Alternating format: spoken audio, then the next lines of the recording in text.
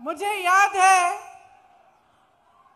उन्नीस सौ तिरासी में जब इंडिया जीता था, उस समय इंदिरा जी थी और इतनी खुश थी। पूरी टीम को अपने घर बुलाया चाय के लिए। आज उनका जन्मदिन है, पक्का आज हम फिर से जीतेंगे। मुझे याद है उन्नीस सौ तिरासी में जब इंडिया जीता था उस समय इंदिरा जी थी और इतनी खुश थी। पूरी टीम को अपने घर बुलाया चाय के लिए। आज उनका जन्मदिन है। पक्का आज हम फिर से जीतेंगे। नमस्कार, मैं हूँ मानक गुप्ता। अगर आपको हमारा ये वीडियो पसंद आया हो तो इसे लाइक और शेयर ज़रूर करें। और हाँ, हमें सब्सक्राइब और फॉलो करना ना भूलें। ताकि आप देश और दुनिया की कोई खबर मिस ना करें।